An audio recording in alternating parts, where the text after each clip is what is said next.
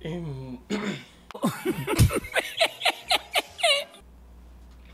in this video, I'm going to be reacting to a video I watched a lot of times. I just want to make a video about it, and it's 300 Blackout. Um, gunman, cool dude, does great work, edits his B-roll. The way he just presents his content is crazy, and who doesn't love a 300 blackout? Like, you see. Let's get into the video.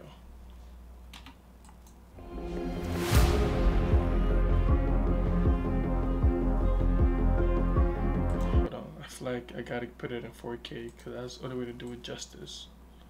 Hold on. You can't watch this video without watching it in 4K. Come on now so cool.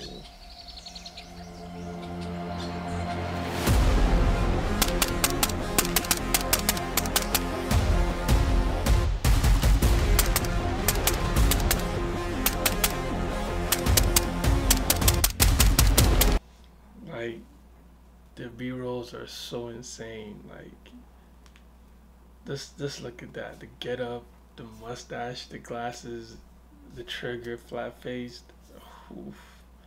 Does it every time. Look at the singular shell.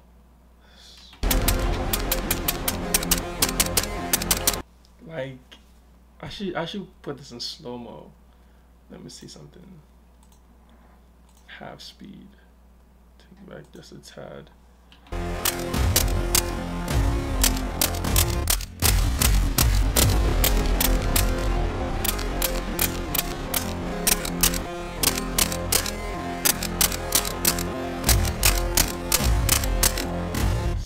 An amazing build, It's such an amazing gun. It's so cool.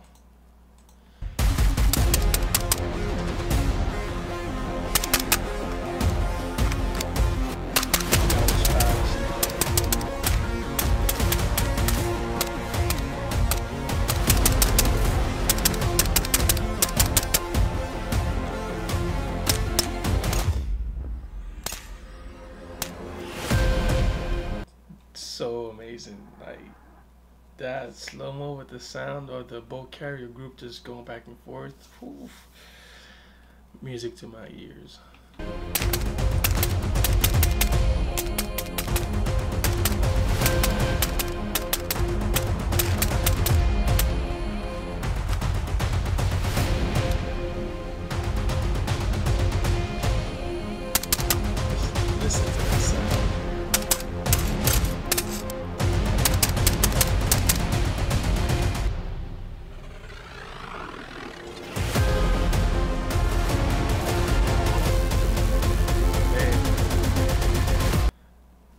Framing, the um, focus, and that kind of stuff is so cool.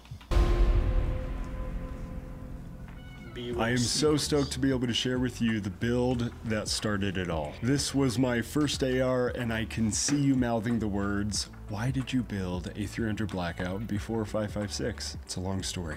But basically, I didn't know anything and I liked the sound of the name, which is reason enough.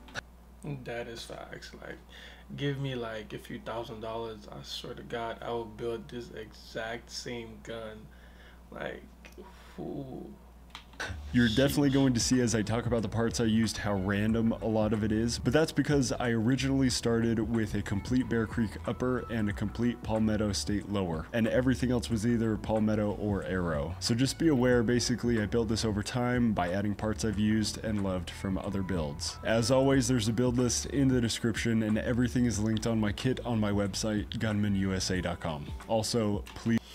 I personally have his um lifetime subscription to the his Gunmen USA just you know to look at stuff you know when I'm bored you know.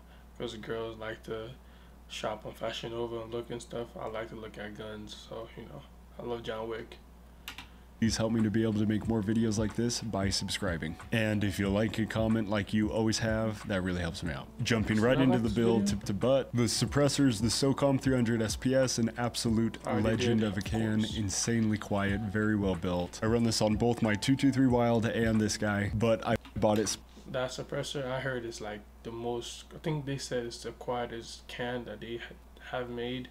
Plus, it's the most realistic sound to the movies. How quiet it is. I know y'all heard it in the beginning of the video specifically for this build. The muzzle device is the SOCOM muzzle brake suppressor adapter. I love that this adds two additional mini baffles to the can. I like to think it does something, it probably doesn't, but it might. The barrel is Bear Creek's 8.5 Heavy 1.8 Twist with their pistol length gas tube. It all runs very smooth, but definitely something I'm looking to upgrade in the future. I'll likely go with another Ballistic Advantage Premium Series barrel because I trust them and I know they run very well. The handguard is from my good friend Corey at Aeronox. He's an incredible designer and makes very well built parts for both ARs and handguns. And I love this thing. It has great build quality as expected, super unique design, has anti-rotation pins, and it's just a sweet, comfortable handguard. It first caught my eye because of the way it tightens to the barrel nut. I try to avoid the whole six screws around the handguard if possible. I've just stripped too many of them and it gets old over time. I definitely just prefer the two at the bottom that tighten down much easier. Corey also makes these semi-angled hand stops, which are super comfortable and well made. I've loved this thing, so definitely go check out his products. The grips on the right side are from Rail Scales. I've said it before, but Rail Scales make some of the best grips on the market. They are super well made and very visually pleasing. And I love that they had mini dot because that's kind of what Aeronox style is as well. They have it spaced throughout the handguard and the hand stop. On the right, we have the Link Angled QD, which I run on all my builds. I love these, no issues at all and I always face them away from me so I can keep the tension on the strap opposite to the way it connects. Not that it makes it more reliable, that's just what I like to do. The slings from Edgar Sherman Design. I'm a huge fan of their slings. They adjust really easily and are well made. They're definitely not as comfortable as my padded Blue Force gear, but still really good to have on the range for training. They do not come with QD swivels unless you order them with them, but I just picked up Magpul's QDMs, which so far are great quality and have worked really well so far. The light setup is the same as my 223 Wylde build. I used to run an Olight.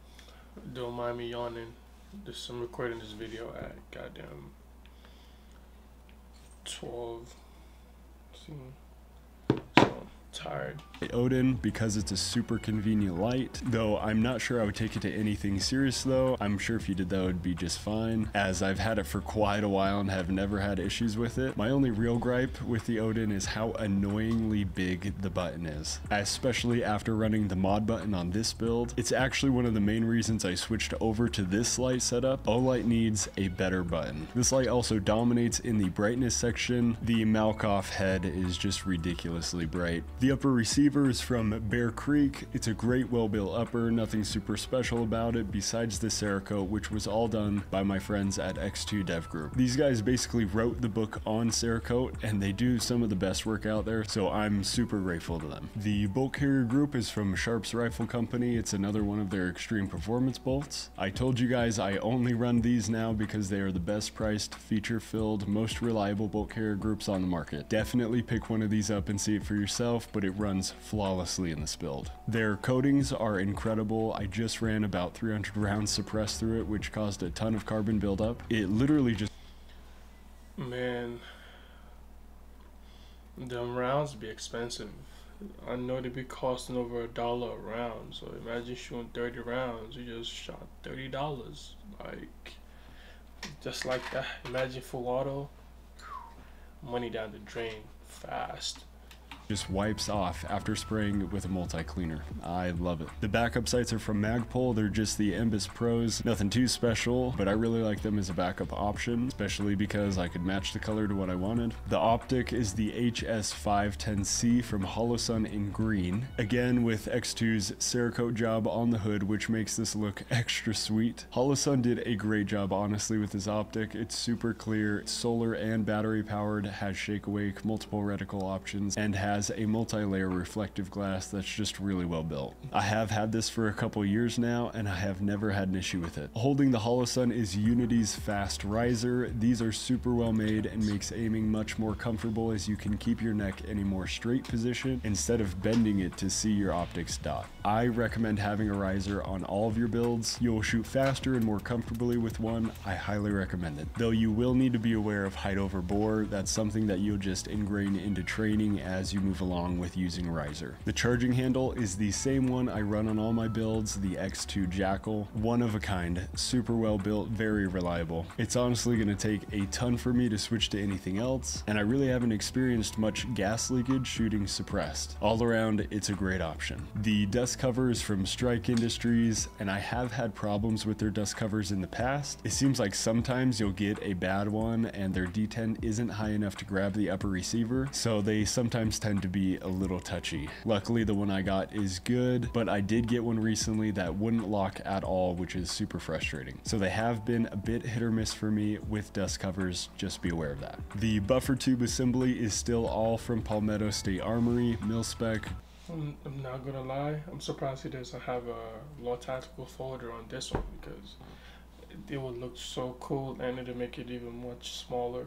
Good so far, no issues. I'll likely upgrade all of it later on, but for now it's fine, which is what it is. I am running the SBA 3 pistol brace, which I'm a huge fan of. Everybody knows SB Tactical makes some of the best braces out there. The lower is just a Palmetto mil-spec lower. It's been great so far. It doesn't have the tightest tolerances with my upper in comparison to other brands, but it definitely gets the job done. I'm not too worried about the loose tolerances because you can fix it with a thing called an AccuWedge. I threw one in and it's literally perfect now, super tight. Just be aware you may need to size the wedge to your build. I had to shave off about an eighth an inch before I could even push the pin through my lower. But now that it's in, everything's perfect. The magwells from HRF Concepts, these guys make some great products and I'm very happy with this one. It does help with the reloads, gives a cool, unique look to the build. Just be aware, depending on the receiver you have, you may have a little wiggle. I fixed this by placing some foam between the receiver and the magwell, tightening tightening it down. Then I cut around to remove the excess foam. And now there's no more wiggle. Probably for a more permanent solution, you could cut a rubber washer as well and tighten it down on top of it. That's probably a better option for long term and it's something that I'll do eventually. The trigger and selector switch are both from Trigger Tech. As you know, I'm a loyal Trigger Tech user and I have never been let down by their products. This trigger is their adaptable 2.5 to 5 pound pull weight option and I chose the PVD flat option which makes it feel a lot like a 1911 11 style pole. I generally keep the pole weight around 4 pounds because that feels comfortable as my run and gun weight. Very smooth, very reliable. I will put trigger techs in all of my builds forever. The selector feels a lot like a Radian Talon only with a polished coating. So far using it, the flick feels very smooth and there's actually less play in it than the Talon which I like. It makes it feel more precisely machined which is hard to beat especially in comparison to the Talon which we all know Radian puts more effort over many to have the most quality controlled, well machined products on the market. So great job to Trigger Tech for making an amazing selector, especially when paired with the trigger. Comfortability wise though, there are sharper edges on the Trigger Tech in comparison to the Radian, so maybe you might like the Radian Talon more just because it's a little softer to flick. The grip is a Magpul K2 Plus, huge fan of these. I have these on all my builds right now.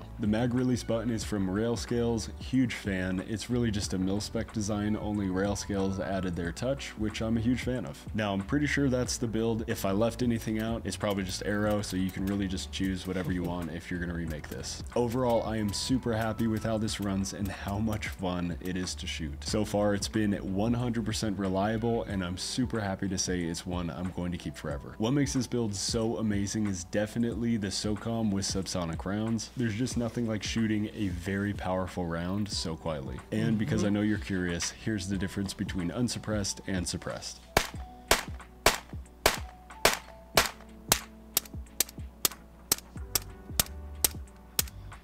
There are more videos and builds to come, so make sure you're subscribed, and I'll see you in the next one. Man, that video was so tough. That sound difference is crazy. 300 blackout, man.